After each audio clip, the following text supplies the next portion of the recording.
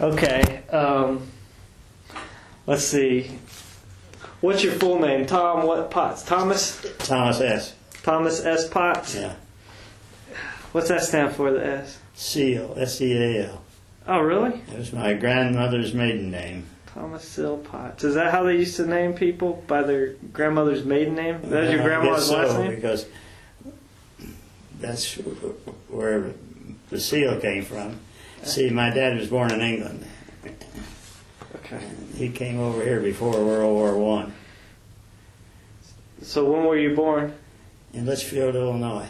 What field? Litchfield, L I T C H F I E L D. Okay, Litchfield, Illinois. What brought your dad from England to America? He came over in about 1912, I think, but I don't know for sure. Okay. What was he doing? What brought? Why did he come? Well, his brothers were all over here, Okay. so they sent for him. He's the youngest one in the family. Generation. Okay. And uh, what did he do for a living? Well, he ran a, a factory where they melted down the iron and made radiators and pipe, cast iron pipe. And you know what a radiator is? Yeah, for a car. No, for houses. Oh yeah, yeah, yeah, yeah. Uh, yeah, they get real hot and you can't touch them to heat up house, right? What? They get real hot and you're not supposed to touch them when you're a kid. Oh no, they're. I, I don't remember that part of it. But they're they almost they they've got the they look like bellows or or they I know what they are. Yeah. I think they're heaters though, right? Yeah, uh-huh. Okay. Yeah, they're very efficient type heaters. Yeah, my brother lived in New York City and he lived in an old place and he had a radiator heater. Yeah, yeah. Well, that, that's an old building that was built probably something like pretty close to hundred years ago. I bet you so. I'm sure. I know my, my one of my granddaughters when she was going to the University of Chicago, her her apartment when she was working on her doctorate degree was in an old place, and when I told her radiator, she knew exactly what. She knew what it was. yeah. Well, see, I, I was thinking car radiator. Um, and how many brothers and sisters you have? Did you have Just two brothers. two brothers? And did they go to the military? Nope. You the only one. My younger brother did get in the Navy just at the end of World War II. He did. Yeah. Oh, so how long did you serve in the military? I served 20 years, Twenty years in the military. What rank did you retire at? Major. Major. Major Potts. Yeah. And uh, that's a 04 or o, no, I, I should know what that is. 01 lieutenant, second lieutenant, captain, major. That's 04, right? Yeah, yeah. Okay. All right. I never thought about it that way. Well, they call them. That's how we. That's a grade. We still use that, or we use that now. Um, let's see.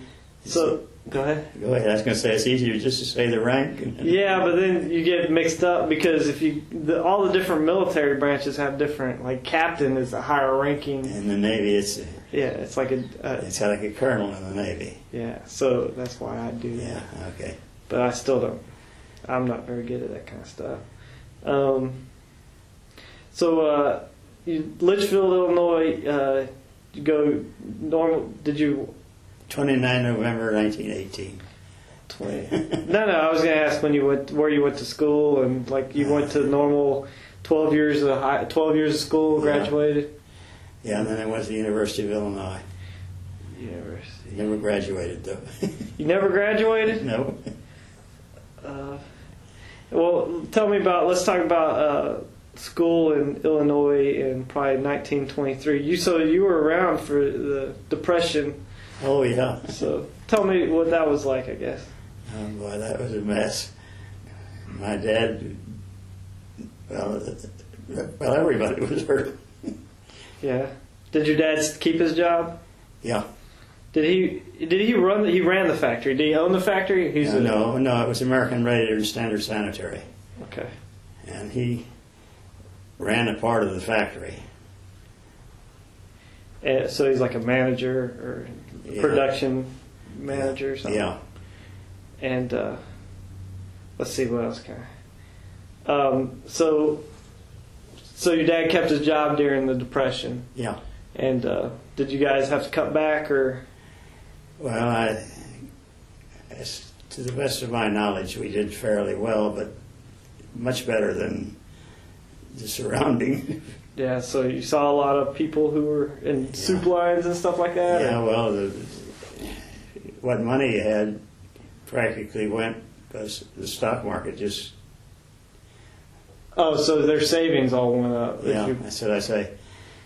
so your parents' savings and all that stuff went down, and Yeah. uh, It was rough. yeah.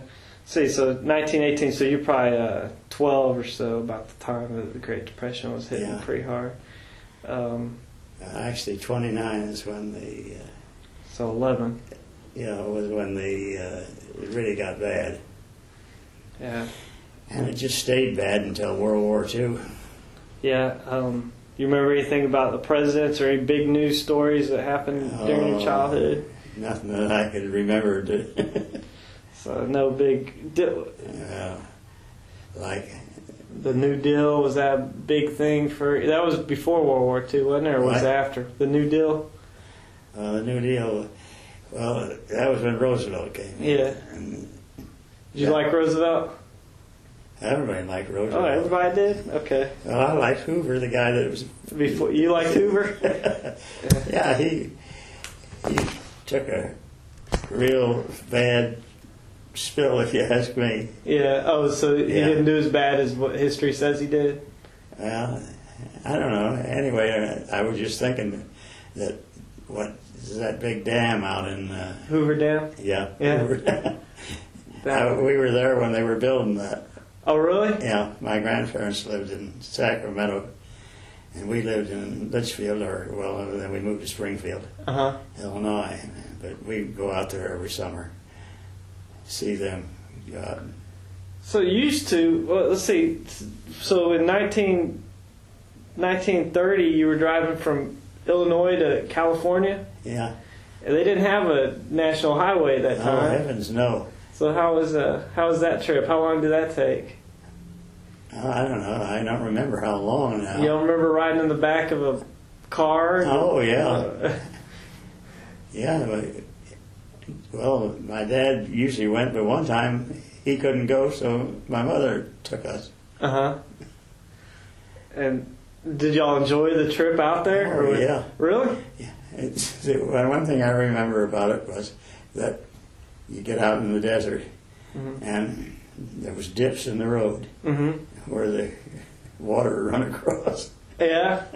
Would tore away the road. See, that's to even nowadays. From I, I drove to California on a highway, and that's a long drive. And in the yeah, I didn't have air conditioning when I went.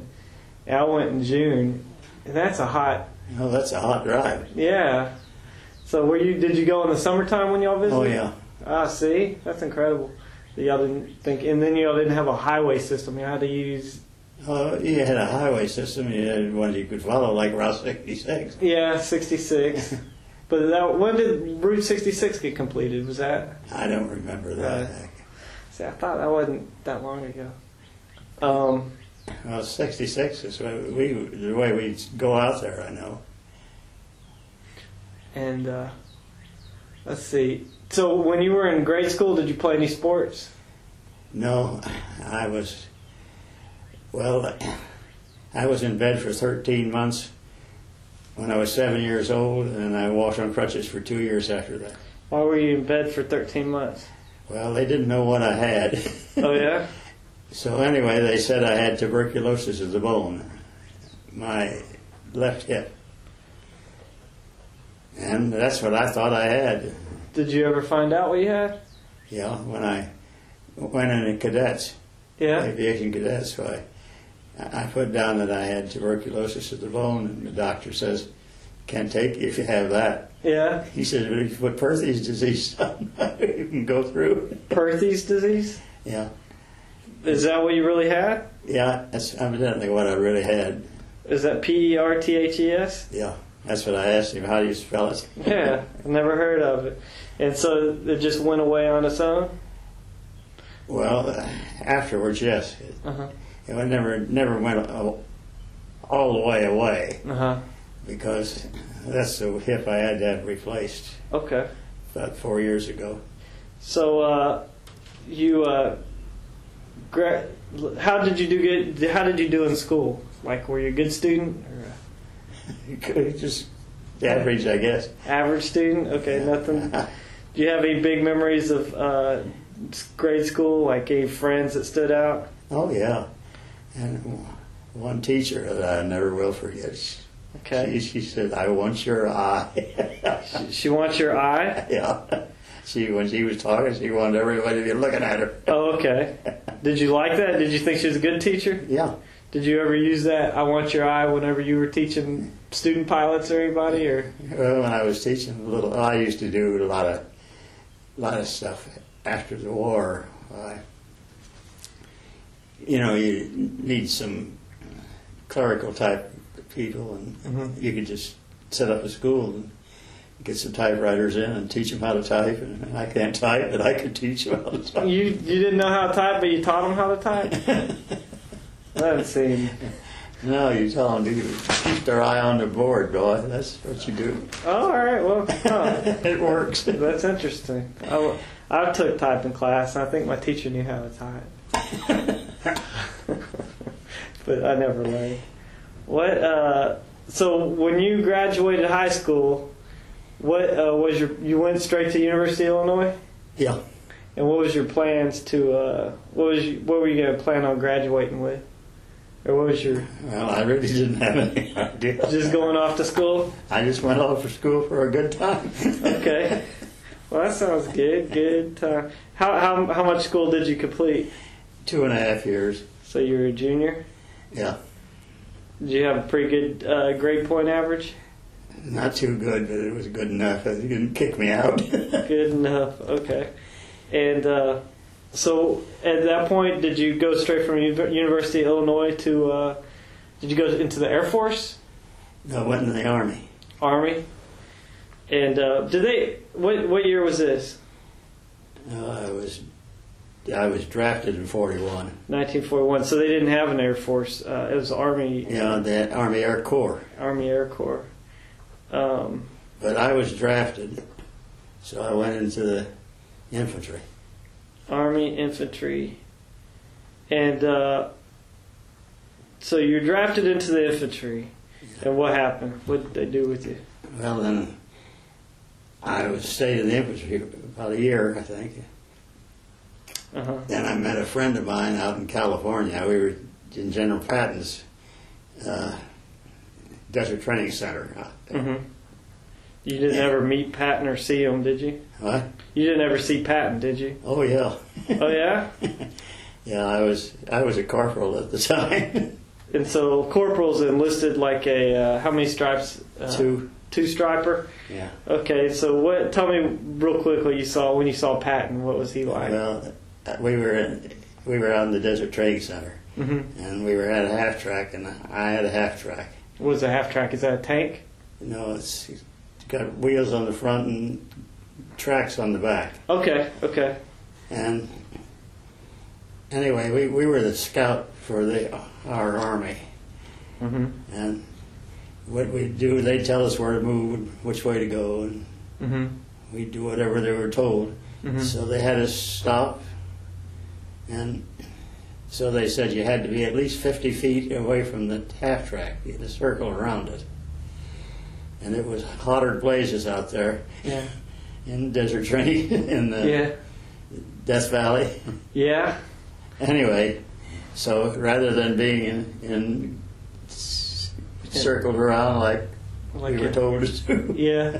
why we were all sitting in the shade. And Of the track. yeah. And who uh-huh. should who should drive up in his tank with Patton? Oh, So he put me under arrest and took my pistol. he put Gen- General Patton himself. yeah. Wow. Anyway, he said, "You and your Was he yelling at you? what?" Was he yelling at you, or was he just calmly doing it? Oh, he sort of up, uptight a little bit. So like, so okay, so he saw you sitting in the shade, and he Yeah. he was in the inside a tank. You know, he was sticking his head out of the top of the tank. Okay, and did he yell at you from the tank, yeah. or did he? Yeah. Who's in charge? so I went over and And you were in charge. Yeah. Put you under and Took your piss. anyway, uh, he said, I want you and your commander to be in my office Saturday morning at 9 o'clock. Yeah. So in Captain Peterson and I go and and he's he's laughing. He's Captain Peterson's laughing. no, uh, Patton was laughing. Yeah. He was saying, "I wonder what kind of effect this had On you. on the whole our whole outfit." So like the the in between the time he told you to meet there and the time that you actually reported, were you nervous? Well, I wasn't expecting. Yeah. anyway, he was laughing, but he said that he was just trying to get everybody to think the same way because he said, "What you got to do, you got to do what you're told." Yeah. Period. And then he said, "That's the only way you're going to make it through the war, and we're not trying to get any any of us killed on our own." Yeah. And holy moly, that's incredible. yeah. So So that isn't the end of it, though. okay. So a couple of weeks later, while we were in L.A. again, just some of us went in, hmm and some captain came up to me and said, "Are you Tom Potts?" And I said, "Yes, sir." He said, "The general would like to talk to you." So I, I go over and sit in the back seat of his car with him, Yeah. and he says, "How is it affecting the whole your whole outfit?" Yeah. And I said, "Everybody shook up." And do you think uh, what General Patton did? Did you think uh, that was good leadership, or did oh, that yeah, yeah, that affected you? yeah. Okay. Wow, that's okay. And so that was that was the last you talked to. And that's the last I've seen of Patton. Wow. Okay, so so when you were in the infantry, you said you had a friend in California that you went and met. Oh well, no. I could I'd known him practically all my life, Yeah. and he was a lieutenant. He had gone to aviation cadets right after. Oh, so he went straight to the aviation cadets rather than being drafted. Yeah, well, he was well, he he was an aviation cadet before the war started. Okay, okay. And anyway, I ran into Bernie and What is Bernie's last name? You know, Muldoon. Muldoon. Okay. And he was an aviation cadet, but he was from uh, Uh, no, Illinois he as well. He was a lieutenant. He was already out of aviation, Okay. out of cadets. And But was he from Litchfield? no, he was from Springfield. Okay. Okay. That's where I graduated from high school in Springfield. Okay. Anyway, uh, it- there was a bunch of us went down to see if we could get in aviation cadets. And he was one of them, and I was one of them. Okay. But of course, I didn't have the education, so they wouldn't let me in. Okay. Anyway, Bernie said, "Well, boy, they're looking for pilots." And so he he was flying P-38s, hmm and he was there at uh, Los Angeles, and so he said he took me back to his squadron with him and met his commander, and then they made arrangements for me to put in for cadets. Even, without an education. Right? Yeah. You- Well, you didn't have to have the education then that you had to have before the war. Oh, okay. Okay. So, and so, uh, how many guys did you did that? Do you know? Well, there was four of us, and I was the only one that didn't make it. oh, you didn't make it. well, I didn't make it from the first time I tried because I didn't have the education. Oh, okay. They told me to go back to college. Okay, but then because you knew Bernie. Little Bernie took me and introduced me to his commander and said that I would always wanted to be a pilot anyway. So Yeah. they told me, go ahead and put in, and they'd see what they could do to help me. So sure enough, they did. Did you ever? Uh, did you ever get your education? You ever finish a college no, degree? never did. Oh, wow. Pretty okay. And how many pilots did you know that, that didn't have their uh, four years of college or whatever? Oh well, during the war, like me, they didn't have to have it. Yeah. Was there lots of guys who didn't? Oh yeah, Okay, lots of guys flew without. yeah. Okay. In fact, a lot of them. Well, no, never mind. That's just not, doesn't make any difference. Then? A lot of them didn't go to any school, or Well, the, the main thing was they wanted bodies. yeah. So what what determined then if they didn't have that as a as a reason to? well, I don't know. This is all I know is I got in. Okay, so you don't know what so what kept other guys who just stayed in the infantry why they Yeah. stayed in the infantry. Well, see, if you didn't make it as a pilot, well, then they'd make you either bombardier or navigator usually. Okay. So Okay. if you, or you'd end out as a gunner if you were. All right. So when you uh, so you got into training, you got accepted. They what they train you on? Well, well, we you had a certain procedure. You got you go to you go to uh, uh, well, what did they call it? Free flight, and that lasted about a month. And then you go to What what is free flight? well, they just orient you to the Air Force to the Air Corps, Okay. and then you go to basic, uh, primary, I should say, primary, basic, and then advanced, and then it takes about eleven months. Basic and advanced is all all uh, different. Well, you fly different birds. Oh really? So what do you fly as a primary? Oh, that's your primary plane that you're gonna fly. You know, primary, it was that's the first planes you fly, Mm-hmm. and I think that was a oh heavens. Don't worry about it. Do you remember any of them, basic or advanced? Well, basic was a BT thirteen, and BT thirteen. yeah, and uh, advanced was a UC seventy eight.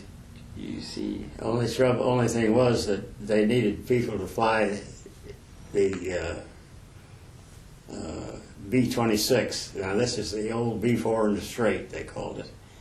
It was uh, real heavy wing loading, and it, it had a good combat record. Mm-hmm. But they they had an AT nine then that that I that they put me in, Mhm. and then I went to the B twenty six Mm-hmm. for the uh, training in the. The only trouble was that that you had to be five foot five seven and weigh hundred and fifty pounds, and I didn't qualify in either. You had to be taller and heavier, or taller and heavier because it, you lose an engine on that thing. It, if you couldn't control it, you were out of luck. and on B twenty six you had to be five seven, 150 Yeah, pounds. yeah. Okay, and, So they- uh, B twenty six. I'm sorry. Yeah, so they booted me out of that. Okay. And then they made me a co-pilot on the B-24. Cool. Okay. And that's what you flew throughout the war. Yeah. Um, all right. So I guess tell me a bit about B twenty four. Well, let's see that picture over there on the wall. Yeah. That's a B-24, the kind we flew. Okay. And did it have? Did it was a combat plane and had a tail gunner and uh, all that? Have what? A tail gunner or a? Oh yeah, had, had the crew was four officers and six enlisted. Okay. And the four officers were uh, two pilots, a navigator. in the bombardier. Okay. And then the enlisted guys. Well, there was the engineer, radio operator, and the rest of them were gunners. Gunners. Okay. Eng, RO, and gunners. And uh, when y'all flew together, uh, did y'all pretty much fly with the same crew every time? Oh yeah, yeah. So you got to know, know these guys pretty well? What? You knew these guys pretty well? Oh yeah, Okay. yeah. We. Uh, where was I now? I had something I was going to say. Oh well, yeah. Our bombardier was killed over the target on September the 10th, I think it was, 44. Who was that? Tommy McGovern. He was over a target? Which target? Oh, I don't remember now. Was it in Germany? I don't remember where it was. It was someplace up in in that area, but I hadn't thought about where it was. yeah. What uh, um, was it a uh, a bullet that You know, flak. flak? We were over the target, and he's a little like I am, only he's only I was littler than he is. Yeah. but anyway, we had flak suits and then helmets that we wore when you're in the flak, Yeah. and I guess a piece of flak went right to his heart because he didn't have his Jacket on. jacket on. Oh. Yeah. If, it, if he'd had it on, it'd been all right because he, Yeah. Would have stopped it. yeah. Um. So what would flak come from? From other planes? Oh no, from the, the enemy f- shooting up 155 millimeter guns, Okay. and they they see they could tell just exactly what your height was with radar. So you could you really read it when you're going through it. You, you've seen I don't know if you've watched the movies. You've seen these black puffs. Yeah. Well, that's, that's those shells blowing up in front of you. Okay. Oh, so they blow up and then pierce the aircraft. Yeah.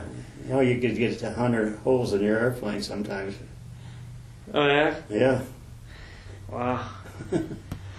so let's see. Uh, so how'd you do in pilot training on the B twenty four? Well, then you, Oh, I'm skipping some. well, they had a, training session for the for the people like I was going B twenty sixes. Mm-hmm. When they booted me out of that because they said you couldn't control it on if you lost an engine, and we were down in Sanford, Florida, flying them. Yeah. Anyway, they had about, well, I guess, it was six weeks of training in that plane, and then they assembled a, then they put me as a co-pilot in the B-24, Mm-hmm. and we had our re- replacement training. In other words, you train as a crew, and you train and everything else about it. Mm-hmm. And then after that, as an illustration, we were where the heck were we? We, had a in '44 is when it was. On Easter Sunday, we were at. Hmm. I can't think of the name down in, in Arizona where we were taking our recruit re, replacement training. Hmm. Anyway, it snowed, so we didn't have to fly on Easter. Oh, okay. that was it. I was It getting. at. snowed in Arizona. Yeah. Oh, I guess it doesn't snow in Arizona a lot? It can't. No, it don't last long. They, That was in April or March, April. yeah, I don't remember, but it was 44. Okay. And so and that was that's where you trained in Arizona from the B twenty four Yeah. for replacement training? yeah. And that's because they replaced you from a B twenty six to a B twenty four, is that why they called it that? No, the the B 26 was a twin engine, Yeah. and the B 24 was a four engine. Yeah. So the B 26 had nothing to do with me flying in the B 24s. Okay, no, but why they call it replacement training? Well, because we were getting ready to replace crews already overseas. Oh, okay, I got you. I got and you. we just, as soon as you got trained and were ready, well, then away you'd go. And Okay. What? uh So when you got trained, you're saying right as soon as you graduated or completed training? well, completed aviation cadets. Yeah. And you got commissioned, Yeah. and then you would go into this training to whatever bird they want you to fly. Okay. And I went in B twenty sixes for me, but then they said that I don't know why they didn't realize this before. Beforehand, yeah. But they put me in a B twenty four, and it was worse than a B twenty six. as far as moving the yoke and handling it. Yeah. Okay. because you lose an engine on takeoff on that thing, and they, what they do is you line everybody up, hmm and then they, as soon as it was your turn to go next, why then there'd be three airplanes on the runway at one Mhm. time. Mm-hmm. And then the prop war should be something terrible. So I know when I was when I was flying, I, I became a pilot. I mean, first pilot shortly after we got over there, Mm-hmm. and I as soon as it get off the ground, I'd slip it off to the side of the runway. The engineering officer always turned his back. Why would you do that? I just get out of the prop war so that From you, the aircraft in front of you? yeah, Uh-huh. two, two of them on their own. Well, you start out and there's two ahead of you already. Mm-hmm. And so if you're flying too close to another airplane, all the all the it wind stirs up the air and and it's harder to control, and that's why you would veer off to the Yeah, side. Yeah. Would you come close to the edge of the runway? Is what? Oh, well, you try to get off the runway. Yeah, but it was scary the way you did it, huh? yeah, but nobody seemed to say anything except the engineering officer wouldn't look. All right. And uh, so, okay, but big guys, I was the littlest guy on the crew. yeah. How tall are you? You know, at that time, I was about five five, Five five. Okay. weighed about 130. Five five, 130. Okay. And so, uh, did did the crew that you trained with on there? Did is that who you uh, Yeah. deployed with? Yeah. So who were the pilots, the other guys that you uh, that you were on your crew? Well, Norb Kustka, How- Norm, Norb, N O R B, no RB. E R T, of course, is Norbert Kustka. Okay. How did you say his last name? Kustka, K U S T K A. Oh, okay. Never heard that kind of name before. Yeah. Okay. And he was another pilot. Yeah. Was were you a co-pilot or? Yeah. Okay. For Norb, yeah. Okay. And then uh, who was your nav? Do you My remember? Navigator, Yeah, Alvin Platt. Alvin Platt. I don't know why you're putting names down. None of them are around. Oh, I'm not gonna. I, I'm, I'm just just for history. Uh, did you like all these guys? oh yeah. And uh, do you remember uh, engineer? Well, you didn't write down Oh. Bombardier. Okay. Oh no, I did. Tommy uh, Tommy McGovern, right? McGovern, yeah. Okay. Yeah, I got him. The engineer was John Devine.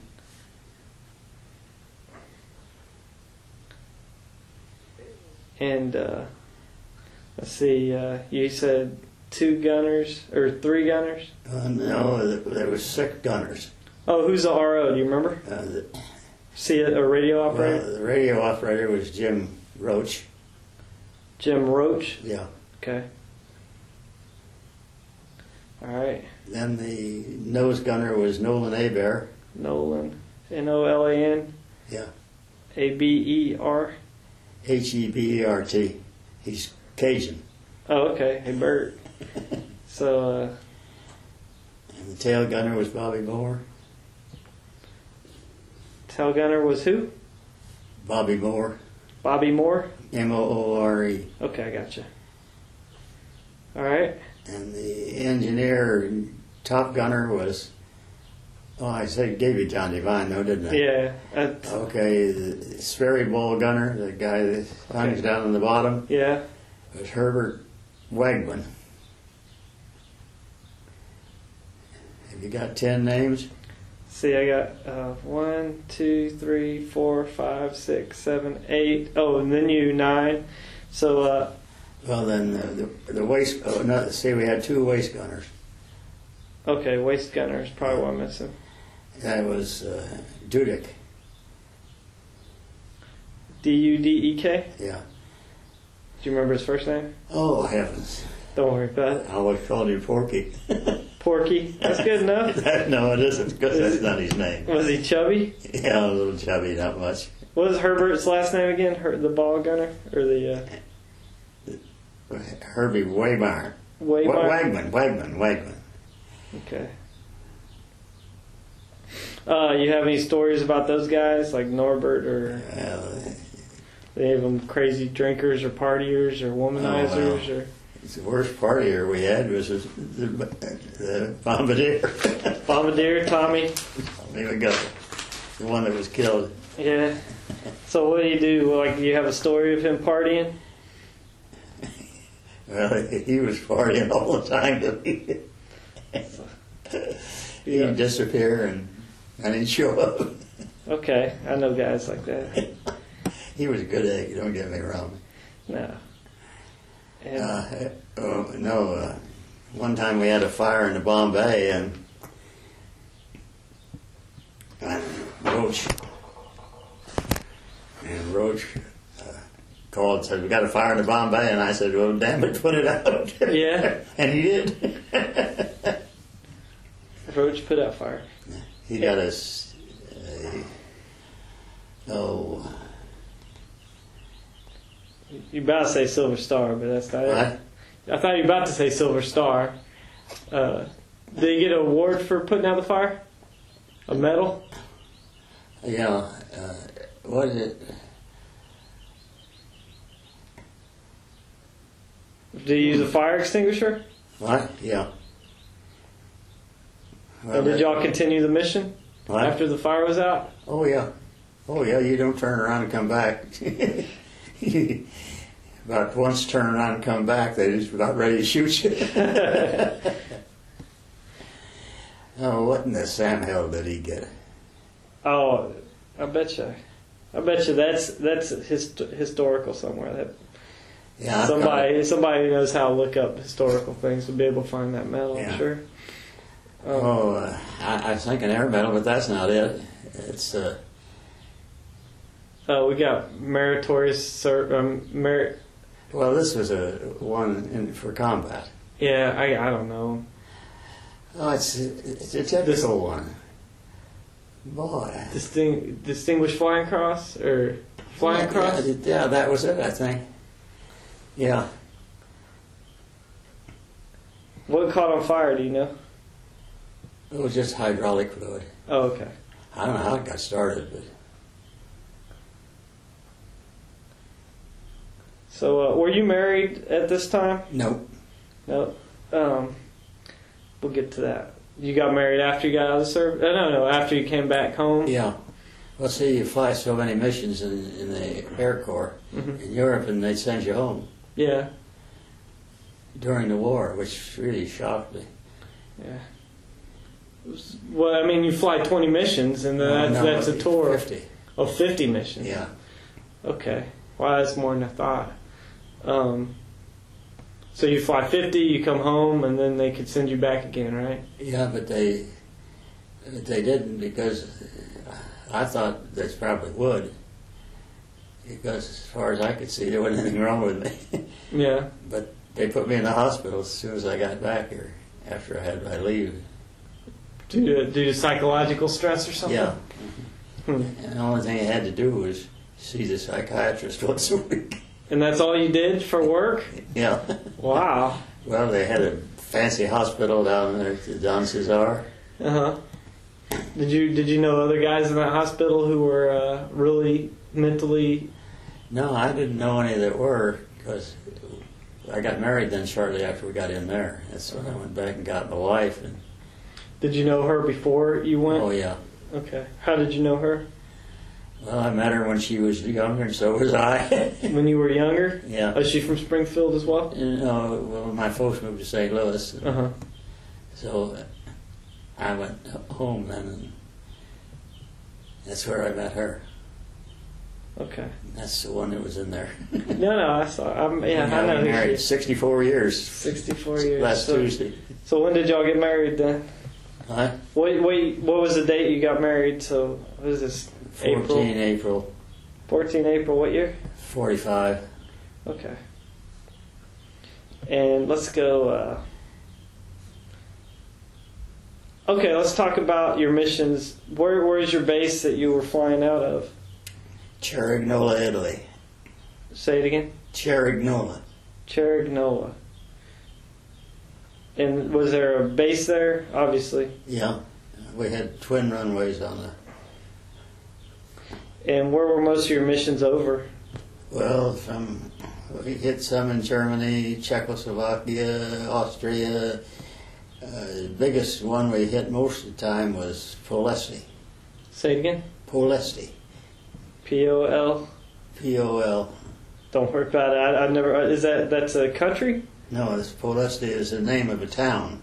Oh, in in what country? Czechoslovakia. No, uh, boy. working working out your. It's it's where they were producing most of the Germany was producing most of their fuel. Okay. German fuel. I'll find that out. Okay, and uh, so what time did you arrive into Cerignola, Italy? What year? What? In June, I, th- I guess it was June. Forty-five. June of 45? Yeah. So you got married and then you went. No. Forty-four. Okay, gotcha. Okay. I gotcha. June of 44. Okay, uh, arrived in June 44. What was the base like? What kind of barracks did they put you up in? And yeah, it had tents. you were in tents? Yeah. And was it hot or cold or what? Well, it's depending on the time of year, it was hot in the summertime and cold in the winter. Did they did they have good heating and cooling systems inside the didn't tent? have any. So you were just either freezing or Well, what we do is go down and borrow a little petrol from the airplane. uh huh. Borrow what from there? Petrol. Yeah, a little of gas from the plane. Okay. And then we have a a can, about five gallon can, Yeah. and you have copper tubing come in from the the gas that was in the can outside. Yeah. It'd be dripping in, and then you'd throw them at you. Wow. So you'd have open flame inside your tent. no, it, it, you, it was a Oh, the copper had hot liquid running through it. oh no, it was just a tank, a can. Uh huh. Like you see now, and you had to cut an opening in it, and Mhm. and then that's how we heated the tent. Okay. And we had bomb fuses, Mhm. And they come in cans, and we'd stack them on top of the others there for a, a uh, chimney. Oh, they they had to be depleted bomb fuses, right? Yeah. Okay, Yeah. gotcha. So they were they were kind of tubular these bomb fuses, I guess, And they're about that long, and they were metal pipe, kind of. and they made a metal pipe. Yeah. Yeah. Okay. Now, would they would they after they were used they would stay inside the aircraft? I guess. Yeah. Okay. Were bombs from the aircraft is what they were from? The bomb fuses. Yeah. mhm. Okay. And uh, where did y'all eat? Did y'all have a chow hall or? Yeah, we had a. Well, when we first got over there, where there wasn't that much, we had a club Mhm. what we built, Mm-hmm. and then we had a, enough room in there for the, our, our squadron to eat. Uh huh. And was the food? What was the food like? Oh, s- spam mostly. Mostly spam. Yeah, we didn't have. Was it really mostly spam? It really was. Uh, they cook, cook it I don't know how many different ways, but it was still spam. They give you bread or like? oh yeah, okay. they bake bread. Did y'all get to leave the base and visit Italian people or anything like that? Well, there was, see, this was enemy territory. yeah. So it really wasn't much you could Go see. No. Huh? So. We'd go over to Bari, Italy. Bari. Yeah.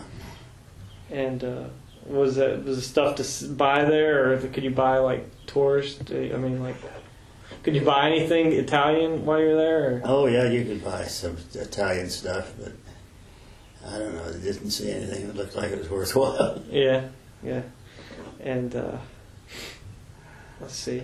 Okay, so how long after you uh, got there in Cerignola did they start flying you? Well, just as soon as we got there, soon as you got there, were you one of the first crews there, or was there Oh already no, crews? there was some already some crews there. How long had they been there? I mean, how long had that base been open for flying aircraft out of there? I don't remember, but Was I it- imagine just a few months. Just a few months, so it's Yeah. fairly new.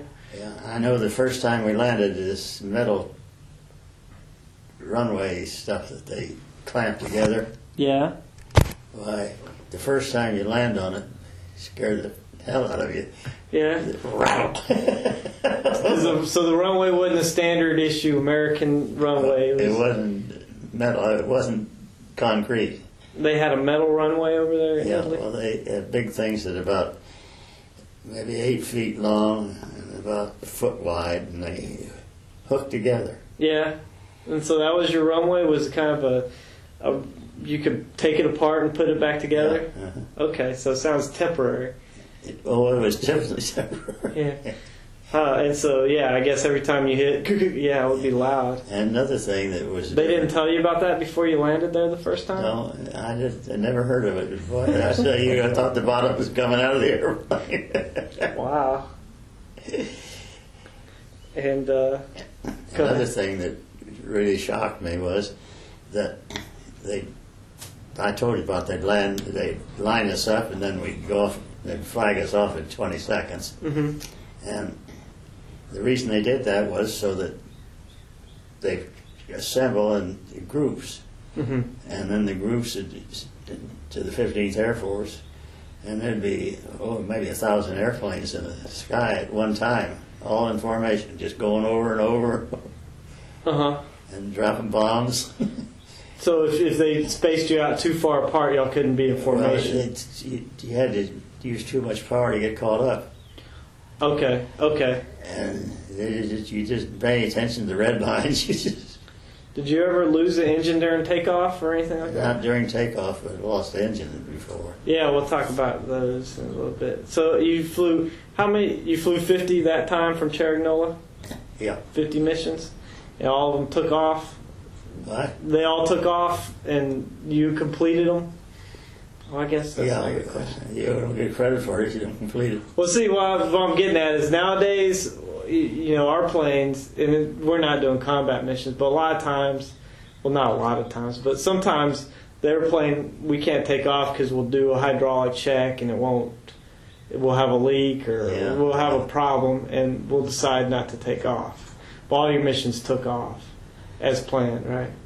Well, no, some people didn't make it for one reason or another. Okay, okay, so it's kind of the same way. see, you're talking about a jet air jet engine too, and these recips, they they were nothing like the jet. Yeah. No. Yeah, and then the turbos and things like that. You lose a turbo and you can't stay with the formation. Yeah. And uh, so, what was? Do you remember your first mission? What that was like? Yeah, What was that? Linz, Austria. We bombed the Hermann Goring Tank Works. Okay, and how'd that go? Oh, it went pretty good, truthfully. You didn't have any? Uh, did you any any enemy aircraft meet you or Well, not ground any fire? aircraft on that one, but that that's another thing that that's what that's when it gets really exciting. When enemy aircraft are shooting at you? oh yeah. Well, right. Because what they do is they they shoot a tracer about one in every three shells is a tracer, Yeah, and you can see it coming at you. yeah. And, and can you? What's it like when it hits? Does you does it hit the aircraft? Do You hear a bullet hit the aircraft, No, you can't really hear it. Mhm. but you know it's being hit. Well, you don't really know. Oh yeah. Until you land and you see holes, Yeah, until you land and see, they see holes. so you can't hear a tink tink or a. Well, I don't know. It's- Sometimes it, I think we could hear the flak hitting the side Yeah. of it. Just yeah, it lost velocity. yeah, huh. Okay, so in Linz, Austria, you bombed a what was that place? There's a bomb factory. Uh, Hermann Goring Tank Works. Okay. I believe that's what it was. Okay. But I don't remember the rest of them. What I don't. Even, No, I know you won't remember all of them, but your first one. And so it took off. You dropped the, the you had coordinates where you were going to drop a bomb at, or do you? Yeah, all uh, well, we, we, we go in the, the, the bomb sights that we that the bombardiers used. hmm They you fly into a certain point, then the bombardier would get it lined up. The bombardier, the Sperry bolt, the the bomb sight would fly the airplane, Okay. keep it on straight and narrow, and then mm-hmm. for just a few minutes, then they'd drop the bomb. So the bombardier's whole job was to know how to get the bomb to land exactly where it wants it to. That's right. That's, Okay. And so the pilot during that time will follow the direction of the bombardier telling him to go. Yeah, just he'd take it over. Oh, he would fly the aircraft, the bombardier? Uh, the bombardier would fly it with the with his bomb sight. really? So there was control on the bomb sight that would somehow steer the aircraft? Yeah, Wow, okay. So y'all would take your hands off the yokes? Or you what would didn't have happen to to- take it off. You could rest it on there, but Uh-huh. But you would feel would the yokes move when he was moving his? Uh, Well, I think they did because he was he would try to get it so that they could release the bombs through the bomb sight. so could he tell after you dropped the bomb whether or not it hit the target? Well, no, you should stay around that long. Oh, okay. But there'd be other ships that would fly Mhm. in and check the damage. And same height as what y'all were, Well, I don't know what side they went in as, but were they B twenty fours? Were they other aircraft? well, we had B-24s and B-17s in the okay, and the in our inventory. and so it's it'd be just did you, so sometimes you might have checked somebody else's bomb damage, yeah. right? Mhm. And would y'all just do that from the bombardier scope or? Well, no, they'd have cameras in the plane. Oh, really? Okay, okay. And uh, so, would y'all get debriefed on, like, say, when you landed after bombing the tank works? Would Yeah, they, yeah. you come back and they would tell you that it was good because y'all hit it or y'all missed it or did what? Whatever. Yeah, they would give you a debrief on that. Oh yeah. Okay. Sure. You, you had a briefing before and debriefing afterwards. hmm And uh, most of the time, they they'd have the information pretty quick as to whether or not it was successful. Uh, they, they w- really wouldn't have it too quick Mhm. when we get to be debriefed ordinarily, but they'd have the data later on. Okay. Um, But that was rather not a very good system for bombing, truthfully. why is that? Well, they just hadn't come up with anything that was that good yet. Okay, so I mean, yeah, it's kind of just dropping a bomb, that, you know, from Yeah. how, how how high were y'all flying when you dropped a bomb? Oh, about 20 to 22,000 feet. Yeah, I imagine it was hard to to to do, and uh, I never did think we did too good a job on that, but it's Yeah. neither here nor there. so uh, how often did do you know how many missions that you you had enemy aircraft um, trying to attack you, or out of the fifty? Oh, I don't know. There, there weren't. Uh, the farther we went along, I don't know if you've heard of this. These black guys that were, Tuskegee Airmen? yeah, Yeah. they flew cover for us, Mm-hmm. and then they had red nosed P-51s, Uh huh.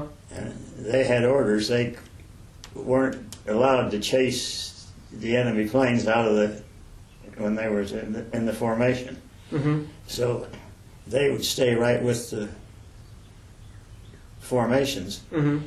and it, they really had ordered they can't even leave it. They're just to protect the fighters, the bombers. Mm-hmm. And boy, after that, we really Because they were protecting you, you didn't really see too many no. That's what I say because they oh you'd see some, but they they would stay with us so that they would the enemy wouldn't be able to get in on us too good. Did uh, did you were they based the uh, Tuskegee Airmen? Were they based out of Cerignola?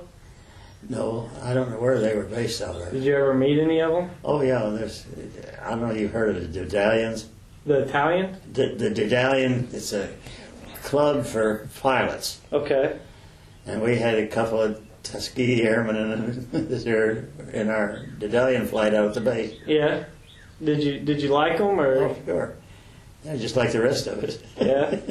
Don't know. Some guys probably didn't take to them as good as others. I imagine. well, no, but but for my way of thinking, they really helped us out. Quite a bit. So, uh, all right. But the thing that got me was that when the, the the enemy would come at you, you were flying like this. They'd come straight at you, hmm and then they'd roll over on their back, and then they'd start spraying out, and just spray the whole formation like. So they would come at you nose to nose. Their nose would be facing you. a lot of times they do. Other times they'll come right into the formation almost, and hmm they get, you get it can get a little hectic. Yeah, imagine so. Dude, you didn't ever see, uh, towards the end of the war, I guess the Germans had, had made a jet aircraft? yeah, I saw that 162. Yeah. It was the 162 was a kind of jet? I think yeah, it was a jet, but, I, we just saw it. We didn't. What did you think? Did you think, wow, it's fast or? Well, no, it, we just flew alongside of us. Oh yeah. Yeah, it didn't. He didn't attack us. I wonder why not. I don't know. They were, they just started building them. I know, and maybe they didn't have many of them to. To potentially lose. Yeah. What? Um, okay, so uh, you crash landed twice, right? In the was that both out of the, those fifty? well, the first time, I don't know what happened, but something happened with the main gear on the right side. Mm-hmm. It, the tire was just flopping, or the wheel was just flopping around. So when you tried to take it in after takeoff, it never came no, all the way no, in. it, it fell out when we were on the mission, Oh, okay. and we were coming back. And so, how did y'all know? I mean, I guess the Well, you see gunner it. saw it. You could see it. Oh, okay. Yeah, the, the gunner could see it. Okay. So when we landed there, why we try to keep the that right wing up as much as we could. But Mhm. then when it goes down, why? Yeah. So was was it swinging around and hitting the aircraft or? no, it was just hanging there. hmm I don't know what happened to it because thought if it something had hit it, that, that the wing had fallen off. Yeah. And afterwards, they they weren't able to tell. Like when y'all landed, y'all never found out. I don't. I, I never did hear. I don't Mhm. think they They probably didn't spend a lot of time to figure they, it out. They weren't too interested in what happened. They were just interested in keeping birds flying. So, uh, so yeah, okay. So you were flying, and, and uh, did you feel anything, or the first thing you hear probably is from the the waist gunner, or to a? I can't remember now. Mhm. how you found out? Yeah, I don't remember. Do you remember where you're flying over when that happened? Nope. Okay. Do you Uh, realize how long that's been? about 40, 50, 60 years, something like that. I'm just, hey, I'm just trying to, you know, get an accurate representation of what's going on. So was it hot or cold? no. Uh, I know one time we were coming back from the target and we lost the turbo and we couldn't stay with the formation. hmm And there were some clouds around, so I put it up in the clouds and hoping that nobody'd see us. Oh, because when you're out of formation, you're a lot easier oh, yeah, to that's shoot down. just set and duck. Okay. The only way you can really keep from getting shot down is you have to get right down on the deck, about 50 feet. hmm And then the fighters can't come in because your your gunners can get them. hmm They as fighters, the guns are fixed, hmm so you can't get right in back of you, so they can shoot you down. Whereas if If you're higher. if you're higher, they can come in from all different angles and Okay. So you reduce the amount of different ways they can come get Yeah. you. Anyway, the, in the soup, and all of a sudden, it had an aerial on the running on the nose of the plane, and all of a sudden, the thing looked the size of a hard bat, hard, hardball bat, hmm and that's that's ice all over the bird. Oh. And they all the de-icing equipment, they took it off the planes because it was the part that they put on the leading edge of the wings. hmm that they couldn't notice if you had a hole in the. Was, that kept them from patching all the holes. Okay. So they took that out, and then the de-icers on the props, they took those out because they were catch on fire. Okay. Anyway, we had to go over the Alps. Yeah, with ice on your wings. yeah, and- but we finally got down to where it was warm enough. And thawed it out while you were flying. yeah, just scared the hell out of me. Oh man! And so y'all landed back safely that yeah, time, right? yeah. Okay. And you said it was the size of a baseball bat on the front wing. Yeah, it, you know, it's like the, just like a wire sitting there, and then there's that big around. God. Okay. So the time when you had the uh, right gear hanging down, how did you get that plane down? well, we just flew it down and kept the kept the right wing high as long as we could. And then when it settles down, why we settled down in the dirt. We kept it off the runway. Okay, because was it the metal runway again? Yeah, And Yeah, so it would probably knock some pieces loose or something? or- yeah. Okay. And so, how was that landing? Did it tear off the gear or break anything? Oh yeah, it tore off everything over there. They had to put a new wing on it. Oh, really? So they used the same plane. They just Yeah. added a whole new wing. Yeah. You don't know how long that took them to do. Well, not very long. For I was really shocked. Boy, I mean, those guys, they must have worked 24 hours a day. Yeah. Um, what? One of my best friends was a mechanic over there in, our- in our group. hmm And and what what did he do? I mean, how did you know him? Well, he's a kid I run around with at home. Oh, he was. He was from Yeah. Springfield. Yeah. Okay. So yeah. So what kind of stuff would you do for uh, relaxation and, and or fun while you were on the base? Did y'all have time to do anything? Well, there wasn't much to do, truthfully. Yeah. And going into Bari wasn't anything. You could get some lousy ice cream. Yeah. Oh, one interesting thing, there was a plane crashed up in Potenza, Italy. I can't even remember now how far up it was. hmm But anyway, we went up there, a couple of us. Maintenance officer, I don't know why I went with him, but anyway, we did. hmm Yeah. And we got up there and we ran into the best stuff we'd run into. Spumani. Savani. Spumani. Spumante. Oh, that's the the champagne, or it's like champagne. okay. Wow. Anyway, we started drinking that stuff. it goes down like toady pop. Yeah. But it doesn't act, act like soda pop, does it? It got you drunk? oh boy. About three days later, we woke up. Ah. So, Italy was a uh, uh, hostile country in World War II. Mussolini. And Yeah. Did it, was the base safe from uh, like ground attack? well, but we didn't have any, to my knowledge. hmm I think the Italians had given up on. Oh, really? Yeah, they They weren't too strong of a you know, weren't too Or- strong of a Nazi. yeah. Um, anyway, the, the most interesting part is why I wasn't a POW. what? Why I Oh. wasn't POW. Okay, yeah. Well, go ahead. Tell me that story. Well, anyway, we were coming back from the target, Mhm. and we had bombed a.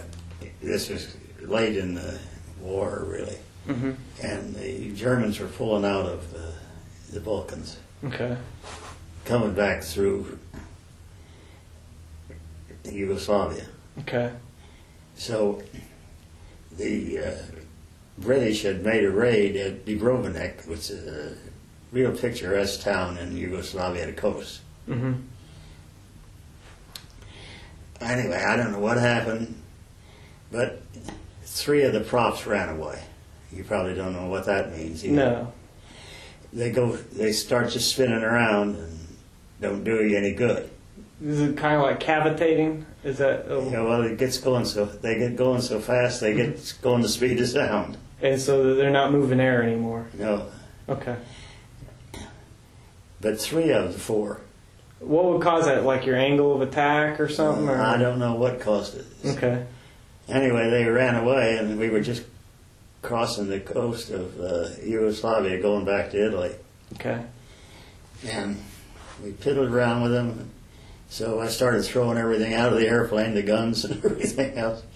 Why were you doing that? Well, hoping we'd get the props going again so we could get back home. Well, I was throwing guns out of the aircraft get the props going again? Well, it, that's if they got going again. Oh, okay. Because you lighten up everything you can. Oh, lightening up. Okay. Anyway, we were across the coast of Yugoslavia, going out in the, I guess that's the Adriatic Sea now. I'm not good at geography. Well, anyway, we were going down like a rock. Okay. so I t- turned around and I called the crew and I told them, put your parachutes on and get ready to bail out. Uh, because this thing is not flying. hmm And anyway, I said, now what I'm going to do is I must hope I can make the coast so you don't Mhm. have to land out in the water. Okay. Or we're ditching the airplane is not a is not a good thing because you can't. It sinks and you can't. Yeah. You're in the water and it's November. Yeah. no, and you, yeah. So anyway, we we turn around and sure enough, I made the coast Mm-hmm. and I rang the bell. It's To eject or to get Yeah. out. Is that what the bell was for? To Yeah. tell the crew to Yeah. get out of the plane? Yeah. Okay. So anyway, then, uh, let's see. Oh, yeah. I, so I was ready to go, and the bombardier waited until I uh, took. He saw my feet come off the rudders, and then he bailed out. Okay. So I turned around to go, hmm and there was the engineer standing there. He lost his parachute. How would he lose it? well, I'm not real sure, but I think somebody was handing it to him, and he didn't get it. And so this was uh, John Devine. John Devine, yeah, Okay, so he's standing there without his parachute. afraid to tell me. He was afraid to tell you. What was his rank? Do you remember? He's a tech sergeant, I think. Tech sergeant. okay. Anyway, I said, well, I guess we got to put this thing someplace. Yeah. So, you know, when you look out where the pilot sits, you look out and there's a little spot you can see. It widens out a bit, but hmm luckily, I looked out there and there was water. Okay. And I thought we put it down there. The only trouble was that I thought I was overshooting it. You thought you were gonna hit land on the other side, or? yeah, I didn't want to hit land. Yeah. Okay. Anyway, I dove it right into the water. And uh, well, I told John just get in the co-pilot seat. hmm And so he got in the co-pilot seat, but he didn't put the seatbelt on. Oh no. so when he when we hit, he flew out. Out of the aircraft. Yeah, So you hit. It was a huge slam, I imagine, like a a huge, like a car crash, probably. Oh, of Right. course, than that, he hit it, hit it about 200 miles an hour. Okay. Hit water at 200 miles an hour. Is eh, okay. I've got some pictures around here of what's left of the airplane, but I don't, I can't, I don't know where they are at the moment. Okay. Yeah. Maybe later we'll get those. If. Uh, But anyway, so well, John flew out. Anyway, why, when it settled down, why, my fa- I was underwater, Mm-hmm. and But you were still in the pilot seat. yeah, I was still in the seat. They they had an odd seat on the darn bird. Mm-hmm. That it was thick steel hmm around the back, hmm on the seat, and then around the face a little bit, about that big, about that wide, I guess. hmm And boy, I tell you, that really protected me. Okay. Well, that's good. It was padded, I hope, right? Oh no, it was just Metal. metal, but the, the seat, the seat belts. I don't know if you ever, you never crashed in an airplane. No. Those seat belts, uh, military type, where you got the shoulder, Shoulder and the. and the belt. Boy, you know, after the war, Mhm. my first car, the first thing I put in, you know what it was? A seat belt. Oh, you put in seatbelts before they were necessary. I was convinced. Yeah. Anyway, uh, John was thrown out. He was he was pretty beat up. He had bones sticking out. Yeah. I don't know what no. Yeah. Anyway, I couldn't get out of the airplane mm-hmm. because my feet were down, caught in some bunch of something or other. Yeah. And anyway, I was underwater, so I passed out. I guess it was just a matter of seconds later because I woke up and my face was the only sticking out of the water. Oh, really? So you floated up to the to the top, I don't know what happened, truthfully. and were you still in your seatbelt in the He's still in the seatbelt, and my feet, I couldn't get to them. I had boots on, Mhm. fur-lined boots, and my shoes. Yeah. And I had to just keep going in and out and in and out of that water until I finally got. Until you got your feet out of the boots. or- yeah, I got. Oh, I had to get my feet out of the shoes too. To get them released, so you kept digging down, holding your breath, untying something, and then going back down Yeah. over and over. And the whole time, John's floating in the water. Well, no, he was out standing on the shore. He was hollering at me. I could hear him, and I was underwater. Oh, really? And so he's he's got what kind of bones? Is it like his thigh, thigh bone, or do you remember? His arms, His arms bones were sticking out. and teeth out, and he was really beat up. Yeah. Anyway, uh, there was a Yugoslavia. By the way, we've been back, back over there four or five times, Yeah. trying to find out where that happened. The airplane was. Yeah. And I can't talk to anybody in Yugoslavia, hmm even in the hotels. They can't. Oh, okay. So this was after the war. You tried yeah, to find that- that. that's right. But anyway, what happened then? You got out. Well, yeah, I finally got out. hmm And there's a guy that, there at, uh, where we right where we crashed hmm that had lived in Brooklyn, hmm and he'd just gone back before the war to visit his family, and he got caught and he couldn't get out. Okay. He got caught by who? Well, by the Yugoslav government. Okay. He was the people we went down with were Tito's people. You've heard of Tito, I imagine. Well, he was uh, one of the communists. Okay. And then in the northern part of Yugoslavia, Mihailovic was the guy that was in charge, and he was like on the German side. Okay. So uh, we were lucky we went down where we did rather than a little farther north. Okay. Otherwise, we'd been POW. Okay. Well, anyway, the British had made a raid on Dubrovnik, and oh, and one other thing. it was rather comical, truthfully. The guy said, "Is there any first aid kit on the plane?" Yeah. and so, yeah, there's one. And then I thought, "Oh my sainted dad!" I never paid any attention to the damn thing. What do you mean? It wasn't. it, I knew about where it was, But you don't. but I didn't know even how it was hooked. Oh, okay. Huh. So I had to go back in the water again and get the first aid kit out. Yeah. I don't know whether they ever used it or not. On John. what? On John. Yeah. Okay. But anyway, when we got in the house there, why, I asked this guy, I said, can we get John some, some uh, medical attention? hmm He says, well, we can't do anything till it gets dark, but I'll see what I can do. So he's sitting. Where Where is he staying at with with his broken arms for hours? Well, he was in this house, Okay. and I was in there with him. Okay. I'm not in the same room with him, but I was in there with him. And who was who was whose? I'm sorry. Um, whose house was it? I think Well, I don't know whose house it's it just a. Yugoslavian It's who, just who- one of the communist Yugoslavian. and they they decided to help you out. Oh, yeah. Okay. Well, they were on our side, Okay. mostly then. Okay.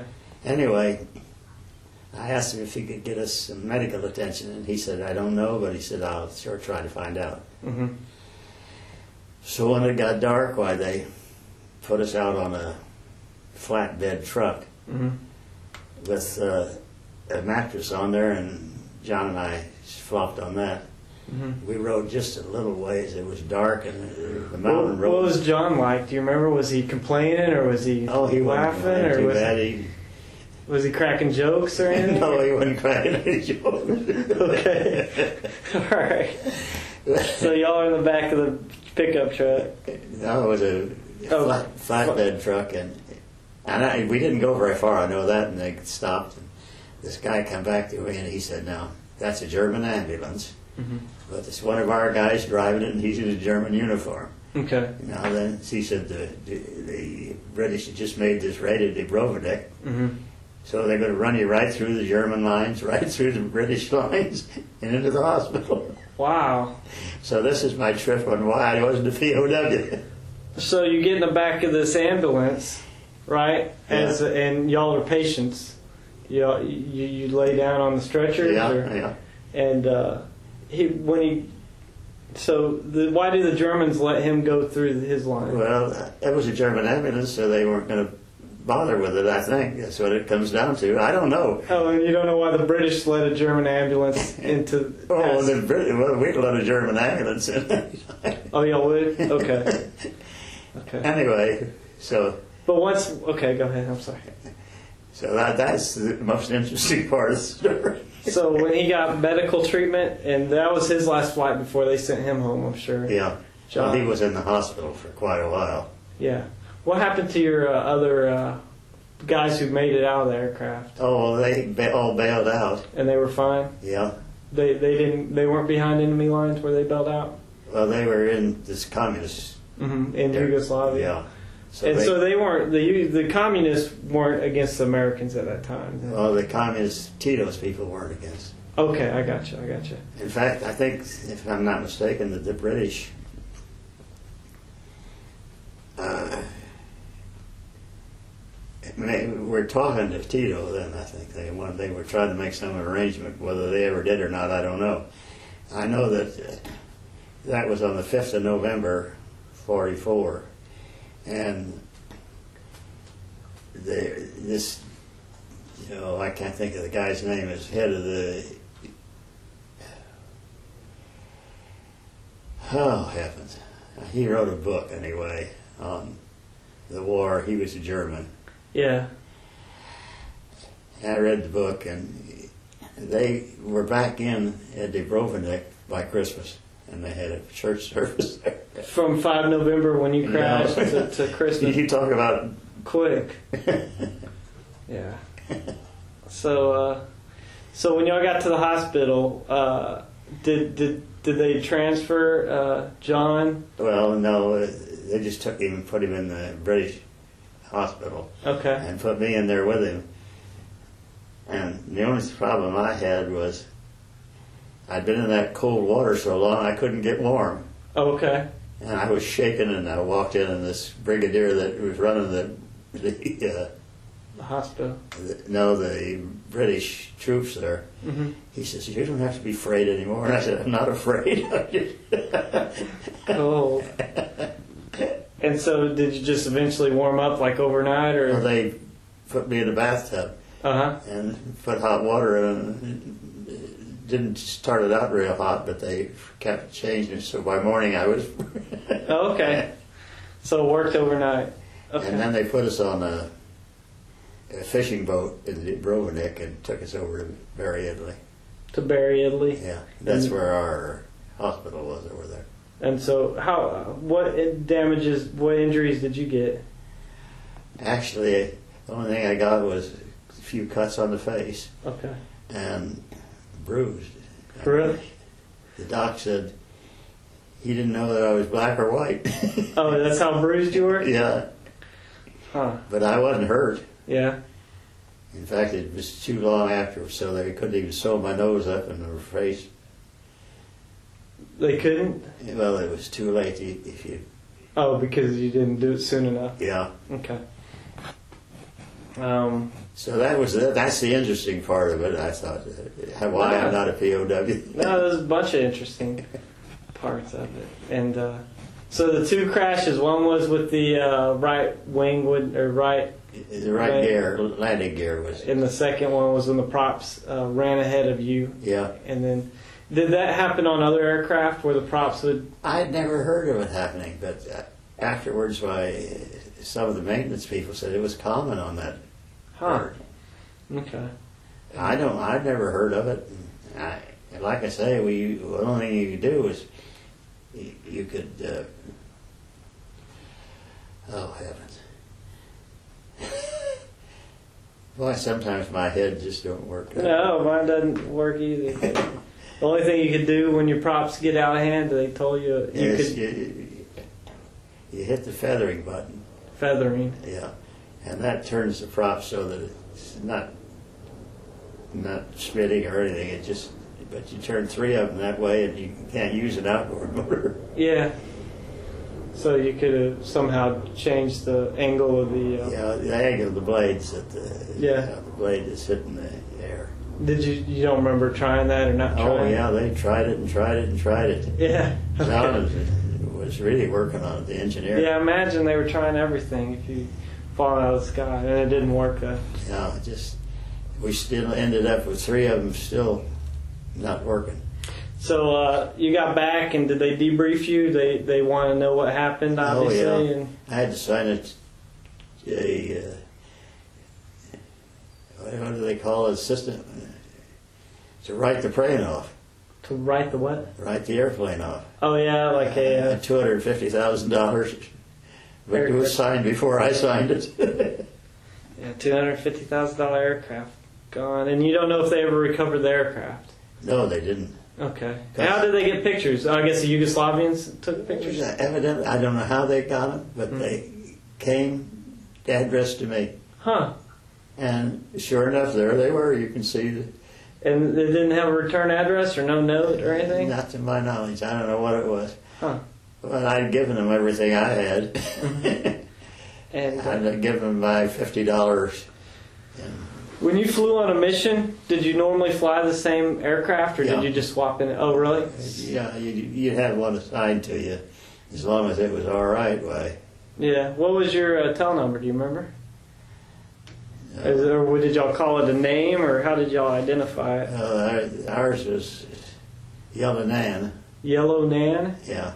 Okay. N A N, like Nana. And no, just N. Oh, Yellow N. Yeah. Okay. The the, uh, the vertical stabilizers on the plane were painted yellow, and then there was an N put on it. Okay. A yellow N. Okay. And uh, so they debriefed you, had you sign off the aircraft, and uh, uh, then they did they give you a lot? I mean, were they angry or they just No, no, no. There wasn't anything to be angry about. You, yeah you couldn't prove nothing anyway. yeah? And so did you didn't fly any more missions after that, or did you? oh yeah, Oh, you did? yeah. I mean, on that trip, Oh no. you Uh, went home. No, no. I flew two more missions after. Oh, really? Yeah. And all bruised up still. Well, I, it was about a month afterwards. I, Oh, okay. And were you nervous that next mission? Well, not really, because I talked to him and let me fly. So I would been I'd been flying a little bit, just Mhm. enough to, so you would be used to it again. Yeah. And uh, so then, so your next two missions, they were kind of uneventful, I imagine. Well, they were just like all the rest of them. They, Had yeah, we were lucky. yeah, yeah. And uh, when you were there, did uh, uh, some B twenty fours not make it home on missions? oh yeah, lots